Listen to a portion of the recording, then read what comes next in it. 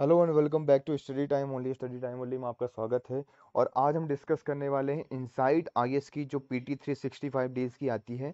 तो साल भर का हम करंट अफेयर्स देखने वाले हैं। पॉलिटी का यहाँ पे देखेंगे, मई 2019 से लेकर फरवरी 2020 तक के सभी पॉलिटी से रिलेटेड जो करंट अफेयर्स हो गए हैं, उसको हम डिटेल में डिस्कस करने वाले हैं। ये इनसाइड द्वारा मैगजीन निकाली जाती है, ठीक है? देखिए, यहाँ पे साइड में नोट्स भी दिया हुआ है तो आप चाहें तो साथ में इसको पढ़ते हुए चले मेरे साथ और साथ में हम लोग क्या करते चलेंगे, कुछ भी जो एक्स्ट्रा पॉइंट मुझे लगता है कि इंपॉर्टेंट है आपके एग्ज़ाम परस्पेक्टिव से तो वो मैं आपको बताता चलूँगा, ठीक है? देखिए तो पहला लेक्चर है, इसके अंदर हम बात करेंगे यहाँ पे, देखिए टेबल ऑफ़ कंटेंट के constitutional non constitutional statutory regularity और वे, जो वेरियस कॉन्स्टिट्यूशनल बॉडीज होती है। तो बॉडीज से रिलेटेड जो है, यहाँ पे टोटल 15 बॉडीज दी गई हैं।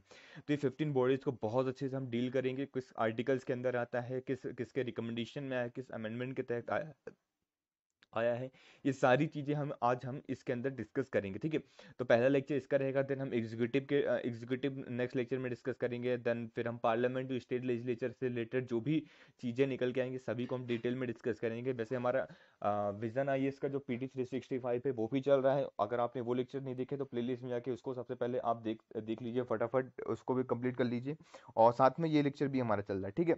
अब देखिए जुडिशियरी से रिलेटेड ये, यहाँ पे बहुत सारे जो आर्टिकल हैं एट आठ आर्टिकल लगभग जुडिशरी से रिलेटेड है, उसको हम देखेंगे।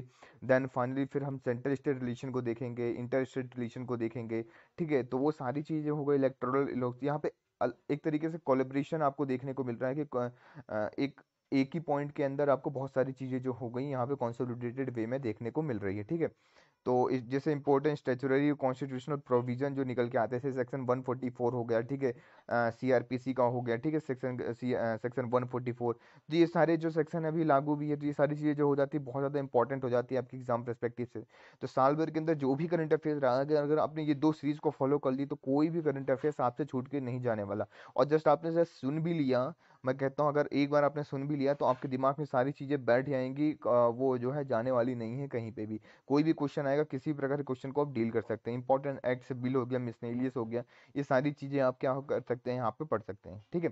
तो चलिए आज के लेक्चर हम स्टार्ट करते हैं और बिफोर स्टार्टिंग द लेक्चर देखिए, ये constitutional non constitutional statutory regulatory various constitutional bodies है। एक एक करके एक एक बॉडी को हम डिटेल में डिस्कस करेंगे तो पहला यहाँ पे जो बॉडी आई है हमारी recommendation of fifteen finance commission तो यहाँ पे बताया गया है फिफ्टीन फाइनेंस कमीशन का रिकमेंडेशन ठीक है तो अब क्या क्या रिकमेंडेशन दिया है? फाइनेंस कमीशन कमीशन ने वो सारी चीज़ें हम दे, देखेंगे।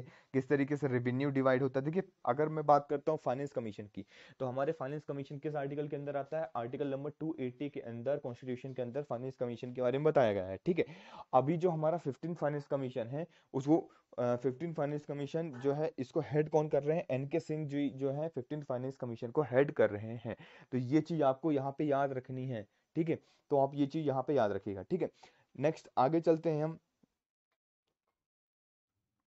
तो जैसा कि हम डिस्कस कर रहे थे यहाँ पे फिफ्टीन फाइनेंस कमीशन के बारे में तो देखिए यहाँ पे आ, जो फिफ्टीन फाइनेंस कमीशन है हमारा इसको कौन हेड कर रहा है? यहाँ पे एन के सिंह जी जो है यहाँ पे हेड हैं तो ये आपको यहाँ पे याद रखना है ठीक है? इनके हेड कौन से हेड कौन है यहाँ पे? एन के सिंह जी जो है यहाँ पे हेड हैं तो इनका नाम याद रखना है।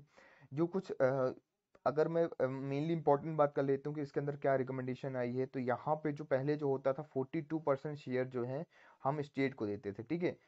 टैक्स का। जो टैक्स डिस्ट्रीब्यूशन होता है, वो कौन करता है? फाइनेंस कमीशन ही करता है, ठीक है? वही रिकमेंडेशन देता है। तो फिफ्टीन फाइनेंस कमीशन ने क्या किया है? जो पहले फोर्टीन फाइनेंस कमीशन ने forty two percent tax revenue था तो फोर्टी टू से कितना कर दिया है? फोर्टी वन परसेंट कर दिया है। तो ये इंपॉर्टेंट इन्फॉर्मेशन आपके एग्ज़ाम परस्पेक्टिव से बहुत ज़्यादा इंपॉर्टेंट है, ये आपको यहाँ पे याद रखना है, ठीक है? आगे चलते हैं हम और बहुत सारी चीज़ें देखिए इसमें निकल के आएँगी कि किस तरीके से फाइनेंस कमीशन ने कंसिडर किया है 2011 के पॉपुलेशन को डिसाइड करने के लिए किस तरीके से आपका जो होगा टैक्सेस का शेयर जाएगा तो उसको डिसाइड करने के लिए क्या किया है? 2011 के पॉपुलेशन को कंसीडर किया है। Forest cover tax efforts area of the state ये सारी चीज़ें जो है कवर की गई हैं। ठीक है तो मेनली आपको यह रखना है किस तरीके से 42 परसेंट से 41 परसेंट हमने कम किया है। तो क्वेश्चन में आ सकता है कि अभी कम हुआ या ज़्यादा हुआ, कितने परसेंट हुआ है कितने परसेंट चल रहा है तो वो आपसे पूछा जा सकता है। तो वो चीज़ आपको यहाँ पे याद होनी चाहिए। नेक्स्ट आर्टिकल की ओर बढ़ते हैं हम और नेक्स्ट आर्टिकल हमारा है फाइनेंस कमीशन ऑफ़ इंडिया जैसे कि अभी हमने डिस्कस किया तो हमारा फाइनेंस कमीशन ऑफ़ इंडिया है किस आर्टिकल के अंदर मेंशन है? फाइनेंस कमीशन ऑफ़ इंडिया हमारा मेंशन है article number 280 of the constitution तो 280 के अंदर हमारा कौन सा आ, क्या मेंशन है? फाइनेंस कमीशन ठीक है? तो वो क्या करता है? फाइनेंस कमीशन क्या करता है? अभी हमने देखा कि टैक्स का डिस्ट्रीब्यूशन हो गया between the centre and the state के बीच में ये सारी चीज़ें जो होती हैं, ये सारी चीज़ें करता है यूनियन स्टेट के बीच में देखता है, ठीक है? और allocation of between the states and respective shares अलग अलग स्टेट ग्रांट्स इन एंड्स कितना होता है? ये सारी चीज़ें जो होगा फाइनेंस कमीशन ही देखता है।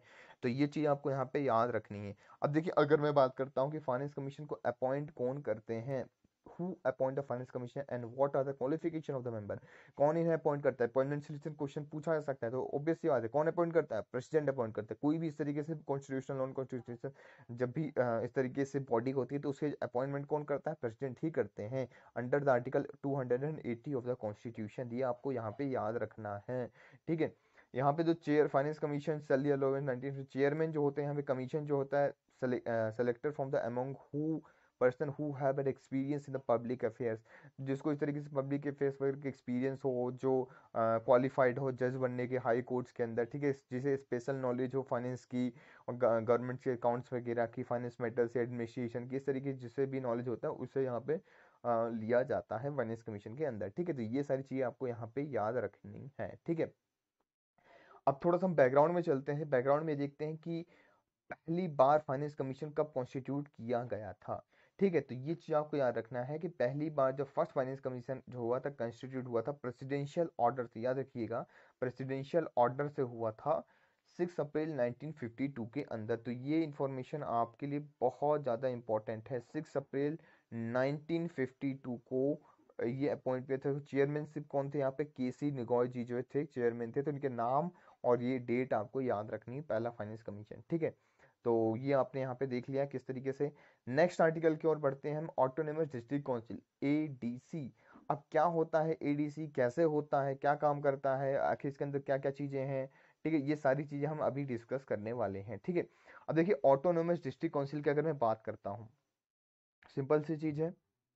तो ऑटोनोमस डिस्ट्रिक्ट काउंसिल के अंदर आप ऐसा समझ लीजिए कि वो डिस्ट्रिक्ट आते हैं जिसके अंदर ऑटोनोमस रहता है, ठीक है? ऑटोनोमस रहता है मतलब वो अपनी जो अथॉरिटी है, खुद ही वहाँ पे लेजिस्लेटिव वर्क करते हैं, खुद ही एग्जीक्यूटिव वर्क करते हैं, खुद ही जुडिशरी वर्क करते हैं। कुछ ऐसे हमारे यहाँ डिस्ट्रिक्ट हैं, उन्हें जो कहते हैं हम ऑटोनोमस डिस्ट्रिक्ट काउंसिल कहते हैं, उसके खिलाफ, उसके लिए एक काउंसिल बनाया जाता है। अगर मैं बात करता हूँ आपसे कि ऑटोनोमस डिस्ट्रिक्ट काउंसिल कितने स्टेट्स के लिए है और कौन कौन से स्टेट्स के में आता है तो ये देखिए काफ़ी ज़्यादा इंपॉर्टेंट हो जाता है। तो यहाँ पे ये नाम आपको यहाँ पे याद रखना है। कौन कौन से आसाम, मेघालय त्रिपुरा एंड मिजोरम, ये इंपॉर्टेंट हो जाता है आपकी एग्ज़ाम परस्पेक्टिव से। चार स्टेट के नाम बाय हार्ट आपको यहाँ पे याद रखना है, ठीक है? इनके पास वेरियस पावर होते हैं। यहाँ पे गवर्नर जो होता है, यहाँ पे मॉडिफाई करता है बाउंड्रीज वगैरह को। उसको मेनली जो है ये किस शेड्यूल के अंदर आता है? तो सिक्स शेड्यूल के अंदर आता है। जैसे कि हमने विजन के लेक्चर में भी ये सारी चीज़ें जो है डिस्कस की हैं, ठीक है? तो वहाँ से भी आप एक बार देख सकते हैं। तो यहाँ पे भी हम शॉर्ट शॉर्ट में डिस्कस कर रहे हैं। गवर्नर में भी में बाय पब्लिक नोटिफिकेशन के हिसाब से गवर्नर क्या कर सकता है? किसी भी एरिए को स्टेट के अंदर किसी भी एरिए को इसके अंदर इंक्लूड कर सकता है एक्सक्लूड कर सकता है और नया ऑटोनोमस डिस्ट्रिक्ट काउंसिल बना मतलब डिस्ट्रिक्ट जो है बना सकता है। ठीक है, इस तरीके से उसका increase the area of any autonomous district और डिमनेस एरिया कर सकता है ऑल्टर द नाम कर अलग अलग चेंज कर सकता है डिफाइन बाउंड्री को कर सकता है। तो ये सारी जो पावर्स होती हैं गवर्नर के पास होती हैं। देखिए, यहाँ पे जो हो गई, आप एक चीज़, ये क्वेश्चन इस तरीके से पूछा जा सकता है कि अलग से जो पावर है, क्या जो इस तरीके से जो सिक्स शेड्यूल के अंदर जो स्टेट मेंशन है, जो एरिया मेंशन है, ठीक है? तो जो हमने चार स्टेट पर उन, उनके गवर्नर के पास ऐसी कौन सी अलग सी पावर है? तो उनके गवर्नर के पास ये जो हमने बात करी, ये अलग से पावर है। तो ये आपको यहाँ पे याद रखना है। ठीक है? चलिए आगे चलते हैं। और रीजनल काउंसिल वगैरह ये सारी चीज़ें दे। अब देखिए यहाँ पे कुछ फैक्चुअल इन्फॉर्मेशन आप देख लीजिए। One twenty fifth constitutional amendment bill के तहत रिलेट करता है increase the financial and executive power of the ten autonomous council in the six schedule जब हमारा one twenty fifth constitution amendment bill आता है, ये क्या करता है? इंक्रीज कर रहा है यहाँ पे फाइनेंशियल एग्जीक्यूटिव पावर इन दस। अब ये दस कौन कौन से हैं? ये डायरेक्टली इनडायरेक्टली आपसे क्वेश्चन में पूछा जा सकता है। इनमें से नाम दे देंगे कि कौन से ऑटोनोमस डिस्ट्रिक्ट काउंसिल के यहाँ पे पावर को इंक्रीज किया जा रहा है। तो आपको ये एरिया याद रखना है, ठीक है? ट्राइबल इन त्रिपुरा के अंदर भील ठीक है? भूतिया चैमल, चकमा, गारो, हलमा, जमातिया खासिया कुकी लच्चा लूसी। देखिए ऐसा नहीं कि आप बिल्कुल रटते बैठे लेकिन एक बार आप रीड कर लीजिएगा मोर देन सफिशिएंट हो जाता है, ठीक है? नेक्स्ट बॉडी की तरफ़ हम मूव करते हैं, और जो हमारी नेक्स्ट बॉडी यहाँ पे निकल के आई है, वो है चीफ विजिलेंस कमिश कमिश्नर ठीक है? सी वी सी काफ़ी ज़्यादा आपने न्यूज़ में देखा होगा इस बॉडी के बारे में बहुत ही ज़्यादा इंपॉर्टेंट बॉडी है। चलिए बताइए कम ये कि कैसी बॉडी है? क्या ये कॉन्स्टिट्यूशनल बॉडीज़ है? या क्या ये स्टेचुरी बॉडी है? ये किस टाइप से बॉडी है? ठीक है? चलिए मैं बता देता हूँ आपको यहाँ पे, ठीक है? तो देखिए, जो सीबीसी बॉडी होती है हमारी तो CBC centre chief vigilance commission जो है, एक चीफ जो जैसे एक सेंट्रल विजिलेंस कमीशन होता है, उसके जो चीफ होते हैं, उसे हम चीफ विजिलेंस कमीशन कहते हैं, ठीक है? तो यहाँ पे आपको ये चीज़ रखना है कि ये जो बॉडी है, अगर मैं विजिलेंस इंस्टीट्यूशन की बात करता हूँ, इसे एग्जीक्यूटिव रिजोल्यूशन के थ्रू लाया गया था, ठीक है? तो ये ये चीज़ आपको यहाँ पे याद रखनी है, इसको किसके थ्रू लाया गया था? एग्जीक्यूटिव रिजोल्यूशन के थ्रू लाया गया था, ठीक है? 1964 में संथानम कमेटी की रिपोर्ट के अनुसार, ठीक है? संथानम कमेटी ने यहाँ पे रिकमेंडेशन दी थी तो ये चीज़, संथानम कमेटी आपके लिए इंपॉर्टेंट हो जाता है। साइड में आप यहाँ पे लिख लीजिए, ठीक है? अगर कभी इस तरीके से आए तो आप साइड में इसको संथानम कमेटी जो है लिख सकते हैं, ठीक है? इसके अंदर लिख लीजिए 1964 के अंदर, ठीक है? तो ये काफ़ी ज़्यादा इंपॉर्टेंट हो जाता है आपके एग्ज़ाम परस्पेक्टिव से। ठीक है, अब इसको स्टेचररी स्टेटस कब दिया गया है? ये चीज़ पूछा सकता है 2003 में इसको स्टेचररी स्टेटस दिया गया है। तो ये चीज़ आपको याद रखना है। ये क्या करता है? चीफ विजिलेंस कमीशन क्या करते हैं? यहाँ पर रिपोर्ट सबमिट करते हैं प्रेसिडेंट को, ठीक है? और चीफ इसके अंदर क्या होता है? एक सेंट्रल विजिलेंस कमीशन होता है और एक दो दो रहते हैं विजिलेंस कमीशन तो ये इन्फॉर्मेशन आपको यहाँ पे याद रखनी है, ठीक है? इसको जब अपॉइंट किए जाते हैं, इनको अपॉइंट किए जाते हैं प्रेसिडेंट ऑफ़ इंडिया के द्वारा, ठीक है? और प्रेसिडेंट ऑफ़ इंडिया जो है के द्वारा अपॉइंट किए जाते हैं on the recommendation of committee अब देखिए जो किसकी रिकमेंडेशन में कमिटी के रिकमेंडेशन वो जो कमिटी होती है उसके अंदर कौन कौन लोग होते हैं? प्राइम मिनिस्टर होते हैं। ये क्वेश्चन काफ़ी ज़्यादा इंपॉर्टेंट है। पूछा जा सकता है कि जो इस तरीके पिछली बार भी काफ़ी क्वेश्चन पूछे गए इसलिए एग्ज़ाम के परस्पेक्टिव से इंपॉर्टेंट है कि, कि सीवीसी को अपॉइंट करने के लिए जो कमिटी बनती है मतलब रिकमेंडेशन देने के लिए जो कमिटी बनती है उस कमिटी के अंदर कौन कौन लोग रहते हैं? तो prime minister union minister union home minister ठीक है? Leader of opposition in the Lok Sabha ठीक है, जो लोकसभा के लीडर ऑफ़ अपोजिशन होते हैं, वो रहते हैं। देखिए, ये पहले पहले यहाँ तक था, लेकिन अभी जो रिसेंटली इसमें चेंज किया गया है कि there if there is no leader of opposition the leader of the single largest party के जो भी रहेंगे लोकसभा के अंदर, वो रहेंगे। ठीक है तो ये चीज़ आपको यहाँ पे याद रखनी है, क्योंकि लीडर ऑफ़ अपोजिशन बनने के लिए क्या चाहिए होता है? वन बाय टेन सीट चाहिए होती है। ठीक है one by tenth seat, total number of seat जो होनी चाहिए, वन बाई टेंथ होनी चाहिए कॉरम के बराबर। तो अगर वो नहीं है तो फिर कैसे डिसाइड करेंगे? फिर तो इनका अपॉइंटमेंट ही नहीं हो पाएगा। ठीक है तो ये चीज़ आपको यहाँ पे याद रखनी है। ठीक है? देखिए, इनका टर्म काफ़ी ज़्यादा इंपॉर्टेंट जो आता, हो जाता है क्योंकि क्या होता है कि कभी हम लोग देखते हैं कि चार साल क्या होता है, अक्सर जो बॉडी रहती है उसकी फाइव ईयर्स का टर्म रहता है। लेकिन इनका जो टर्म ऑफ़ ऑफ़िस है वो कितना है? फोर ईयर और sixty five year of age तो हम जो देखते हैं मेनली जो बॉडी रहती है उसकी सिक्सटी ईयर्स ऑफ़ एज रहती है फाइव ईयर ऑफ़ मतलब मैक्सिमम एज रहती है। तो ये आपको यहाँ पे याद रखना है। ठीक है? और इनको रिमूव किया जाएगा। अगर ये मिसबिहेव करते हैं प्रेसिडेंट के आ, मतलब इस अगर मिसबिहेव प्रेसिडेंट के द्वारा रिमूव किया जाता है अगर ये कोई मिसबिहेवियर इनकेपेसिटी अगर इस तरीके से पाया जाता है तो यहाँ पे रिमूव कर दिया जाता है ठीक है? नेक्स्ट हम आगे आर्टिकल की तरफ़ मूव करते हैं लॉ कमीशन ऑफ़ इंडिया ठीक है? तो लॉ कमीशन ऑफ़ इंडिया क्या है? तो रिसेंटली अगर हम बात करते हैं तो ट्वेंटी सेकेंड जो लॉ कमीशन है, हमारे यहाँ जो है क्रिएट करने के लिए कैबिनेट ने अप्रूवल दे दिया है। तो ये चीज़ आपको याद रखनी है लॉ मिनिस्टर के द्वारा यहाँ पे अप्रूवल दिया गया है यूनियन कैबिनेट के द्वारा।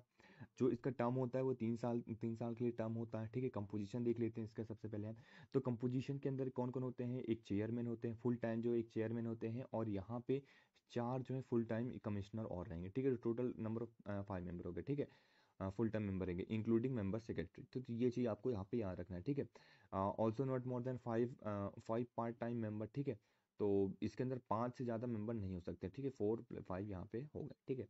तो परमानेंट मेंबर ठीक है? परमानेंट की मेंबर की बात कर रहा हूँ, ठीक है? रिटायर सुप्रीम कोर्ट जज और chief justice of high court will head the commission तो किसी जो हेड होते हैं, जो चेयरपर्सन होते हैं, वो सुप्रीम कोर्ट के या तो जज रहे हो, रिटायर्ड, या फिर हाई कोर्ट के chief justice of India retired हों तो उन्हें बनाया जा सकता है, ठीक है? तो ये आपको रखिए, जिनके जिनके पास अच्छा खासा लॉ का नॉलेज हो, ठीक है?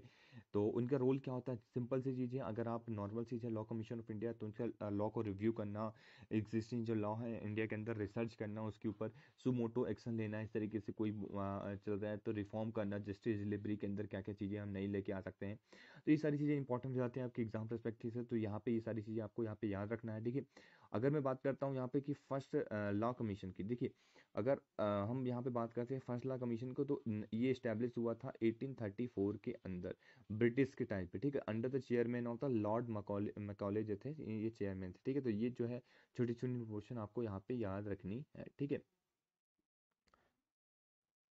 नेक्स्ट जो हमारा है सेंट्रल कंज्यूमर प्रोटेक्शन अथॉरिटी देखिए सेंट्रल कंज्यूमर प्रोटेक्शन अथॉरिटी जो है ये नॉर्मल सा आर्टिकल है, एक बार आप इसे नज़र मार लीजिए, ठीक है? तो इसके अंदर देखिए, सबसे पहले इंपॉर्टेंट बात कि ये किस चीज़ के लिए बनाया गया है? तो गवर्नमेंट ने अभी यहाँ पे सेंट्रल कंज्यूमर प्रोटेक्शन अथॉरिटी बनाया नाम से समझ में आ रहा है कंज्यूमर के प्रोटेक्शन के लिए बनाया गया है, ठीक है?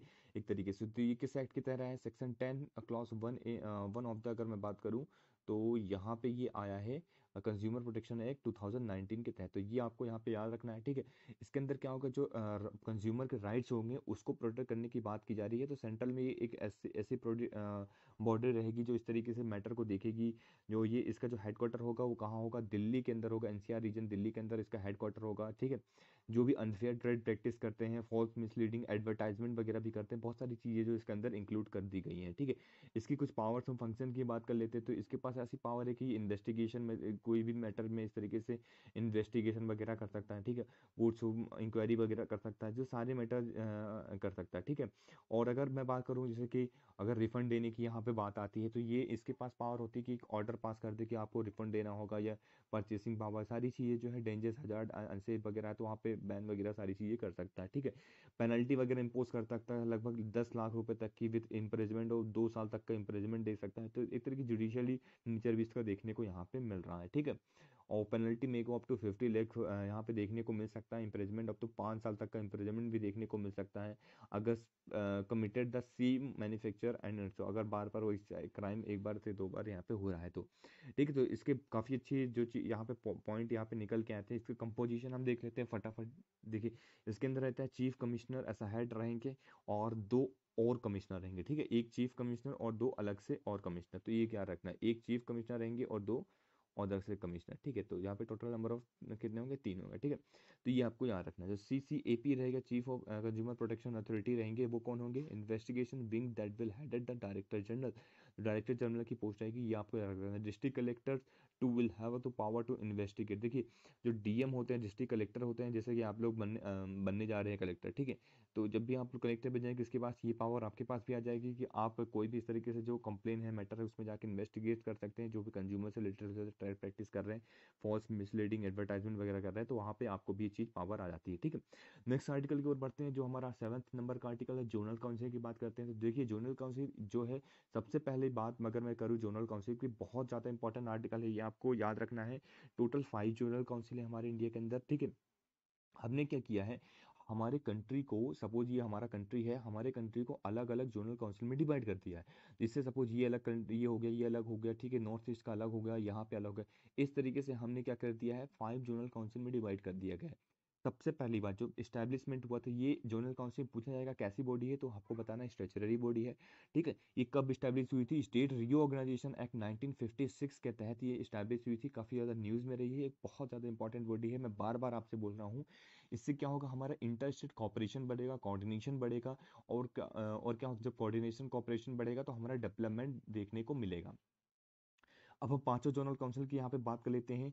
देखिए, सबसे पहले जो इस्टेब्लिशमेंट हुआ था 1956 के अंदर, जो स्टेट रीऑर्गेनाइजेशन जब एक्ट आया था 1956 के अंदर, जब बहुत सारे स्टेट को वो किया गया था तो यहाँ पे पाँच जोनल काउंसिल थे। स्टार्टिंग में चार थे, ठीक है? कौन कौन से थे? नॉर्थन जोनल काउंसिल था सेंट्रल जोनल काउंसिल था ईस्टर्न जोनल काउंसिल था और वेस्टर्न जोनल काउंसिल था। एक नॉर्थ ईस्ट जोनल काउंसिल है, वो लास्ट बाद में बना है, ठीक है? तो ये चीज़ भी आपको यहाँ पे याद रखनी है। देखिए, अब जो इसके अंदर जो स्टेट आ जाते हैं तो वो आप याद रखिएगा। ठीक है, स्टेट स्टेट किस तरीके से आप आ जाते हैं तो स्टेट के नाम में एक बार चाहे तो आप देख सकते हैं, जैसे नॉर्थन जोनल काउंसिल के अंदर कौन कौन से स्टेट आ जाते हैं, जैसे कश्मीर, पंजाब, राजस्थान एनसीआर जो हो गया, दिल्ली, यूटी वगैरह। ठीक है, सेंट्रल जोनल काउंसिल के अंदर छत्तीसगढ़, यूके, ठीक है, उत्तराखंड हो गया हमारा, ठीक है। और Uttar Pradesh, Madhya Pradesh eastern zonal council के अंदर कौन कौन से स्टेट आ जाते हैं? बिहार झारखंड, उड़ीसा, वेस्ट बंगाल, ठीक है? और वेस्टर्न जोनल काउंसिल के अंदर कौन कौन से आ जाते हैं? State, Goa, Gujarat Maharashtra and UT southern zonal council के अंदर ये आंध्र प्रदेश, तेलंगाना, कर्नाटका, केरल, तमिलनाडु सारी यूटी वगैरह आ जाती है, पुडुचेरी वगैरह, ठीक है? तो ये हमारे पास टोटल कितनी जोनल काउंसिल होगी? पाँच होगी। ये पाँच तो कब बनी थी? स्टेट रीऑर्गेनाइजेशन एक्ट नाइनटीन के अंदर बनी थी, ठीक है? यहाँ तक क्लियर हो गया। आगे चलते हैं।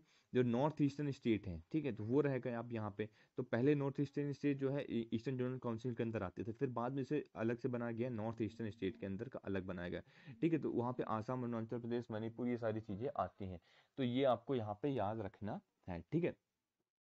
अब कंपोजिशन देख लेते हैं। देखिए दे, कंपोजिशन काफ़ी ज़्यादा इंपॉर्टेंट है क्योंकि कंपोजिशन कई बार पूछा भी गया है और पूछा भी जा सकता है। ठीक है? इस तरीके से जो भी बॉडी होती है उसकी कंपोजिशन काफ़ी ज़्यादा पूछी जाता है। देखिए इसके जो चेयरमैन होते हैं वो यूनियन होम मिनिस्टर होते हैं और मैंने आपसे कई बार कहा कि जिस जिस भी बॉडी के चेयरमैन होम मिनिस्टर होते हैं या फिर प्राइम मिनिस्टर होते हैं वो बॉडी हमारे लिए बहुत ज़्यादा इंपॉर्टेंट हो जाती है। तो ये आपको यहाँ पे याद रखना है। ठीक है? तो ये हमने देख लिया। इसके चेयरमैन कौन होते हैं? हमने देख लिया यूनियन होम मिनिस्टर ठीक है? अब वाइस चेयरमैन कौन होते हैं? सीएम लेकिन सोचिए, एक जोनल काउंसिल के अंदर तो बहुत सारे सीएम होते हैं, बहुत सारे सीएम आएँगे तो रोटेशन बेसिस में यहाँ पे होता है, ठीक है? सपोज़ एक पार्टी पर्टिकुलर एक जब हुआ तो इस दिन एक टाइम पे ये बन गया, फिर ये बन गया, फिर ये बन गया, फिर ये बन गया, इस तरीके से रोटेशन बेसिस में अलग अलग टाइम पे वाइस चेयरमैन वो बनते हैं, ठीक है? तो ये इन्फॉर्मेशन भी आपको यहाँ पे याद रखनी है, ठीक है? मेंबर्स जैसे सभी यहाँ पे सीएम रहेंगे और सीएम और दो अलग से मिनिस्टर इसमें नॉमिनेट किया जाएगा गवर्नर के द्वारा, ठीक है? Adviser one person nominated by the planning commission ठीक है? अभी जो हमारा जो नीति आयोग हो चुका है ठीक है? तो ये सारी चीज़ें इसके अंदर रहेंगी तो ये आपको यहाँ पे याद रखना है, ठीक है? अलग से भी इनवाइट किया जा सकता किया जा सकता है यूनियन मिनिस्टर को, ठीक है? पार्टिसिपेट करने के लिए अगर नेसेसिटी यहाँ पे समझ में आती है तो ठीक है? तो ये इन्फॉर्मेशन क्या है? काफ़ी ज़्यादा एग्ज़ाम परस्पेक्टिव से आपके लिए इंपॉर्टेंट है। अब इसके ऑब्जेक्टिव हमने देख लिया कि नेशनल इंटीग्रेशन के लिए काफ़ी अच्छा काम करता है, ठीक है? और जो भी रीजनलिज्म हो गया लिंग्विज्म हो गया पर्टिकुलरिज्म जो हो गया, जो हमारे यहाँ काफ़ी ज़्यादा देखने को मिलता है, क्योंकि हमारी कंट्री वैसे ही बहुत ज़्यादा डाइवर्स कंट्री है तो ये सारी चीज़ें काफ़ी ज़्यादा देखने को मिलती हैं। तो उस चीज़ को प्रमोट करने के लिए, उस चीज़ को आगे बढ़ाने के लिए कि हमारा डेवलपमेंट हो और हम सारी चीज़ों को बना के रखें, इसलिए ये लेके आया गया अब ये चीज़ हमने देख करी अब मैंने बताया था ना, एक अलग से काउंसिल होता है नॉर्थ ईस्टर्न काउंसिल ठीक है? अब वो नॉर्थ ईस्टर्न काउंसिल की हम बात करते हैं, ठीक है? नॉर्थ ईस्टर्न काउंसिल यहाँ पे देखिए, यहाँ पे जो आया है इस्टेब्लिशमेंट इसका हुआ है। सबसे पहले तो हम इस्टेब्लिशमेंट की बात करते हैं। तो ये नॉर्थ ईस्टर्न काउंसिल एक्ट 1971 के अंदर इसका इस्टेब्लिशमेंट हुआ है। तो ये बहुत ज़्यादा इंपॉर्टेंट इन्फॉर्मेशन है, ये आपको याद रखना है। ये एपेक्स लेवल की बॉडी है। बैलेंस यहाँ पे बना के रखती है नॉर्थ ईस्ट रीजन की। डेवलपमेंट के लिए डेवलपमेंट के लिए यहाँ पे ये बॉडी है। तो वहाँ के जो भी स्कीम्स हो गए प्रोजेक्ट्स हो गए, ये सारी चीज़ें इसको रिव्यू करती, देखती है। ठीक है? तो ये चीज़ आपको यहाँ पे याद रखना है, ठीक है? काफ़ी ज़्यादा इंपॉर्टेंट बॉडी है नॉर्थ ईस्टर्न रीजन के लिए, ठीक है? जब भी नॉर्थ ईस्टर्न रीजन की बात होती है तो आप ये बॉडी को यहाँ पे मेंशन कर सकते हैं, ठीक है? Chairman of the north eastern council ठीक है? Cabinet approve the minister stand independent charge जो रहते हैं इसके। अब देखिए, यहाँ पे यूनियन होम मिनिस्टर जो रहते हैं एक्स ऑफिशियल चेयरमैन रहते हैं, ये चीज़ आपको यहाँ पे एक बार देख सकते हैं तो उसके भी चेयरमैन होम मिनिस्टर थे, यहाँ पे भी चेयरमैन होम मिनिस्टर ठीक है? तो ये आप एक बार देख सकते हैं। नाइन्थ आर्टिकल की तरफ़ हम मूव करते हैं removal of state chief information commission की बात करते हैं। कि जो चीफ इंफॉर्मेशन कमीशन है, काफ़ी ज़्यादा न्यूज़ में है तो इनके रिमूवर से रिलेटेड यहाँ पे एक की आर्टिकल आया हुआ है, जो कि काफ़ी ज़्यादा इंपॉर्टेंट है। तो यहाँ पे आप देख लीजिए क्या क्या चीज़ें निकल के आती हैं। देखिए तो यहाँ पे बात हो रही है स्टेट चीफ इंफॉर्मेशन कमीशन की।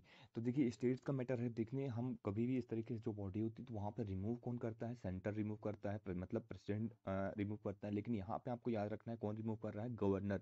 ठीक है? तो ओनली गवर्नर के ऑर्डर पे जब भी इस तरीके से होता है, यहाँ पे सेंटर की बात हो रही है।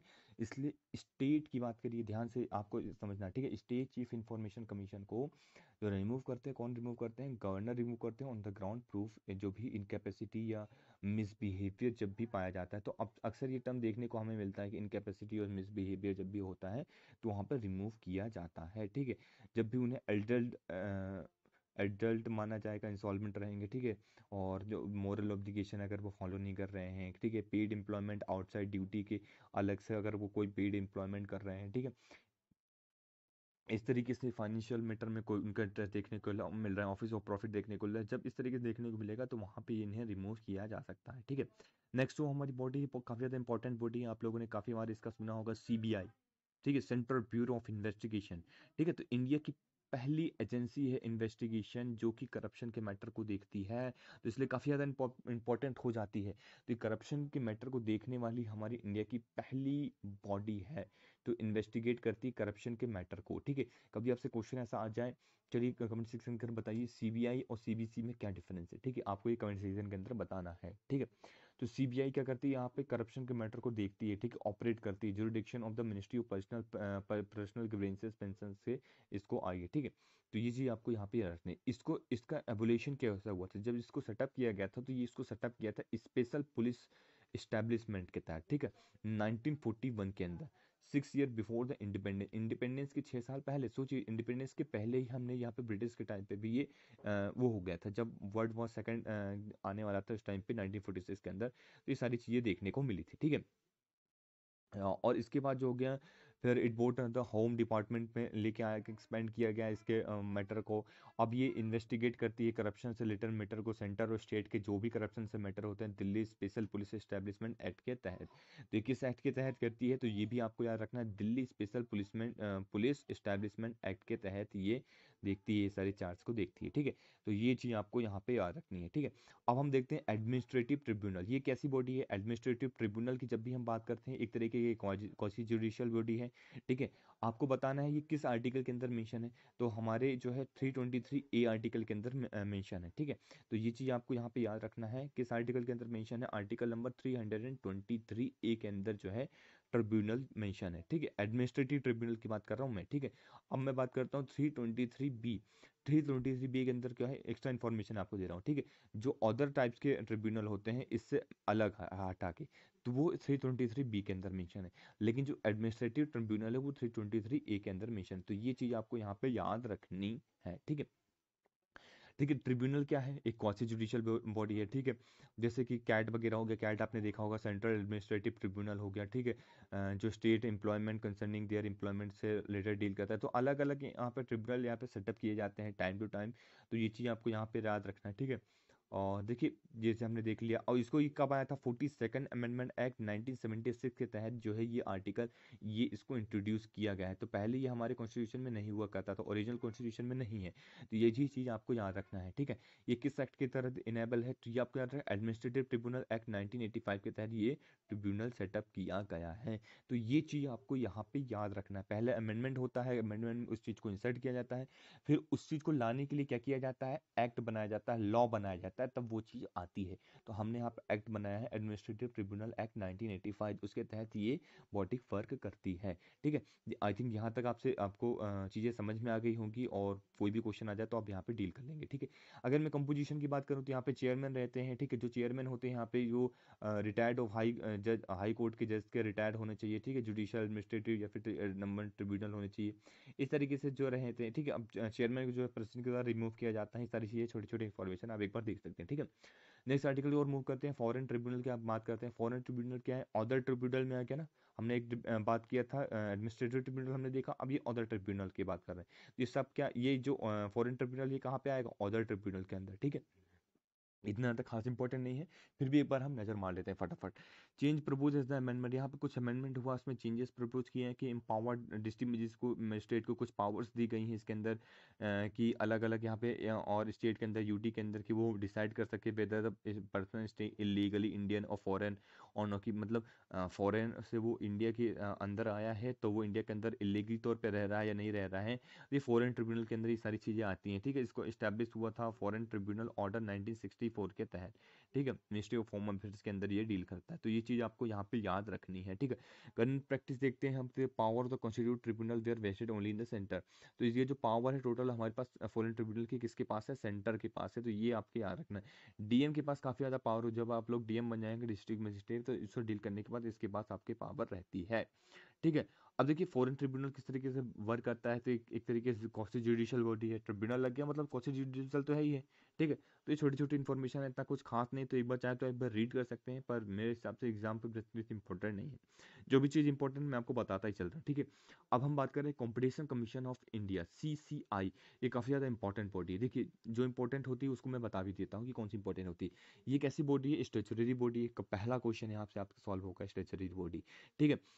Responsible for enforcing competition act 2010 2000 sorry 2002 का जो एक्ट है, उसके तहत ही आई है इन्फोर्स हुई है। ठीक है तो ये चीज़ आपको यहाँ पे याद रखने इसकी कुछ हम फ़ंक्शन देख लेते हैं। फ़ंक्शन कैसे कैसे हैं? जैसे eliminate practice having the adverse effect on competition जो एडवर्स इफ़ेक्ट देखने को मिलता है, ठीक है कॉम्पिटिशन के अंदर प्रमोट द यहाँ पे सस्टेनेबल कॉम्पिटिशन देखने को मिलता है कि कंज्यूमर का, जैसे फॉर एग्ज़ाम्पल अब देखिए कंपटीशन से यहाँ पे समझ लोगे किस टाइप की कॉम्पिटिशन की बात हो रही है कि जहाँ पे भी ट्रेड वगैरह हो रहा है, ठीक है ट्रेड के अंदर कंपटीशन अगर हो तो ट्रेड के अंदर ऐसा कंपटीशन हो को फेयर प्रैक्टिस की जाए ठीक है? तो ये चीज़ इसको इंश्योर करती है कमीशन, ठीक है?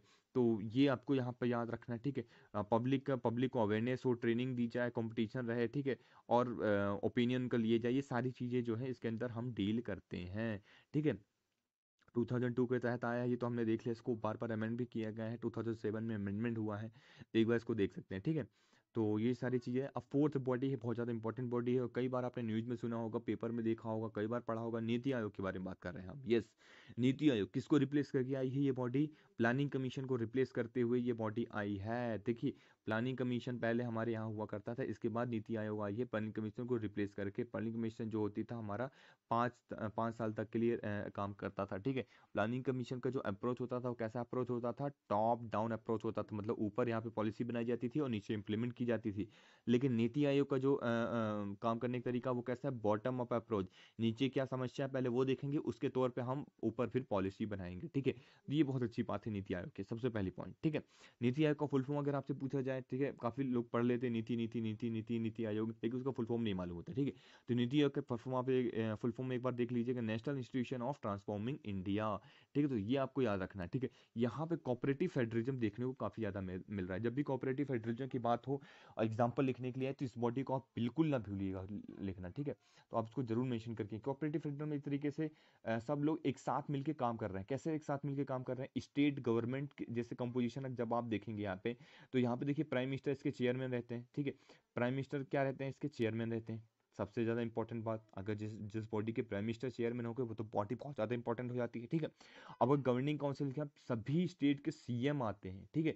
गवर्नर आते हैं लेफ्टिनेंट गवर्नर आते हैं तो जब ये पार्टिसिपेट कर रहे हो तो यहाँ पे क्या हो रहा है? कॉपरेटिव फेडरलिज्म देखने को मिल रहा है ना हमारे?